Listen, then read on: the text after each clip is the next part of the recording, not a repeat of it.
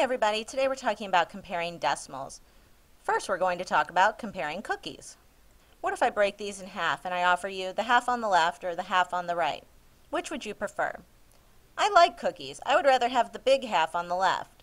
So what's the point of all this? Well, the point is when we compare fractions or decimals, we want to start with same size items. Since these items are not the same size, we cannot compare them. Let's look at something we can compare. Here we have two equal size grids. They're both separated into 10 equal sized pieces. That means that each piece is a tenth of the whole. On the left, I have four pieces shaded, so that's the decimal 4 tenths. And on the right, I have three pieces shaded, and that's the decimal 3 tenths.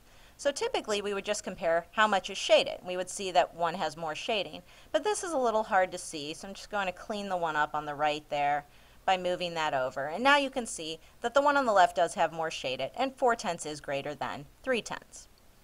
Let's look at another. Here we have two fraction circles. They're the same size, and they're both separated into 10 equal sized pieces, and each piece represents 1 tenth. On the left, we have 5 pieces shaded. That's the decimal 5 tenths. And on the right, we have 4 pieces shaded. And that's the decimal 4 tenths. Now let's compare. Well, maybe a little hard to see, so I'm just going to clean that up a little bit and move the shading over. And now you can see that the one on the left does have more shaded. It is the larger decimal. And this is good to know in case it ever comes up in a cookie conversation. How about these two? They're both separated into 100 equal sized pieces. So each little square is 1 hundredth of the whole grid. The one on the left has 38 of those pieces shaded, and the one on the right has 43 of those pieces shaded. So which one has more shaded? The one on the right, 43 hundredths, is greater than 38 hundredths. Let's try another.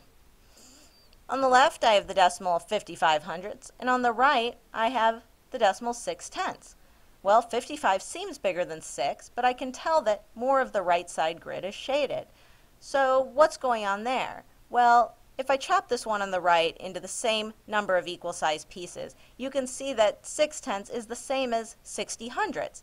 And now you can see 60 hundredths is greater than 55 hundredths. Now you can try some comparing decimals on your own.